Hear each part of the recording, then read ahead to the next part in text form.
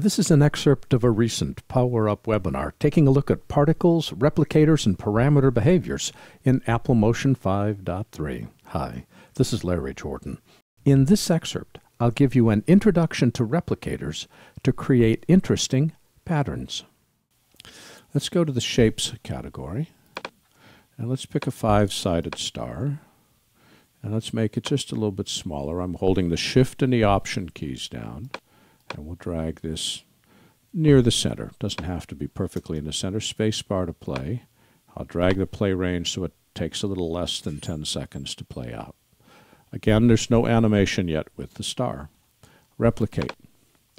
By default, with the replicator selected, it always is a rectangle, and it always fills the entire rectangle. I want to just do the outline. And now I have stars around an outline. See, there's my rectangle. And there's my stars. It says how many points do I want? Five or two or one or whatever. Well, I don't want a rectangle of stars. I want a circle of stars. And I don't want seven of them. I want 13. And I want to have it be bigger. Now again, let's notice the stars dimmed out. If you have the wrong size, select that dimmed section. It's not checked. Hold Shift and Option. That allows you to drag from the center and change your size. Now again, a replicator by default is not moving, but if I stop my playback and put my playhead at the very beginning and go back and select the replicator, because you got to select what you want to work with, see this offset thing.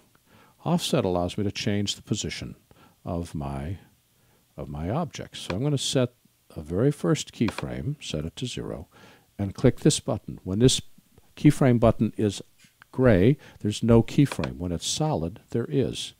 The number that's red indicates it's being controlled by a keyframe. And at the end, I want to have it go about that far.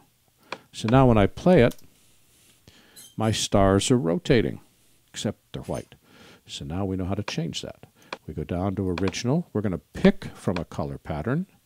And we'll go to here and we'll say rainbow.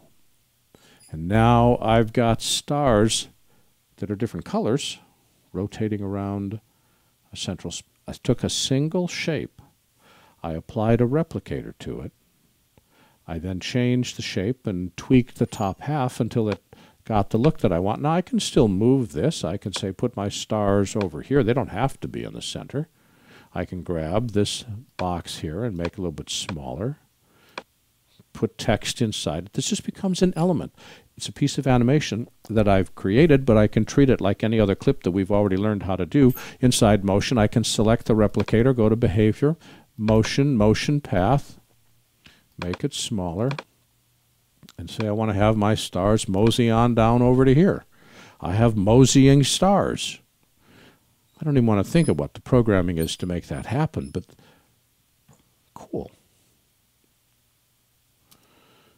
All right, now, I think that is the most incredible replicator I've ever seen in my life. I want to save it again, so let's go to the library, go to replicators. With replicators selected, click the folder.